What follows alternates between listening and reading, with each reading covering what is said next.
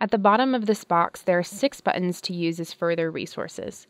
Clicking here is another way to view driving directions, as we have already done.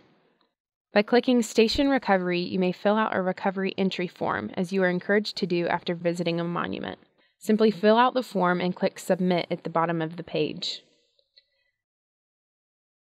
By clicking Print Basic, you may print a basic report of the monument. This printing option does not include photos of the monument or the visibility diagram. To print, click the printer icon in the top left hand corner of the page.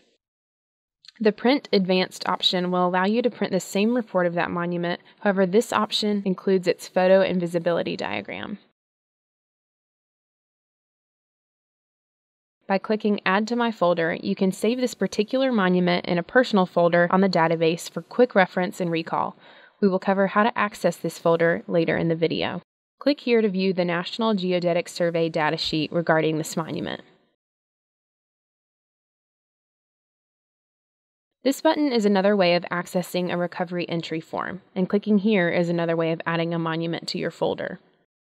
To search for another monument with a similar latitude and longitude, click Search Near here. Simply adjust the radius that you would like the system to search through and click the magnifying glass. To view the monuments that you have saved in your folder, click here. You must have monuments saved in your folder if you wish to use them later in the Tools resource or the Data Export resource below, which will soon be addressed in this video. If you wish to remove a monument from your folder, simply check the box of the monument you would like to remove and select Remove.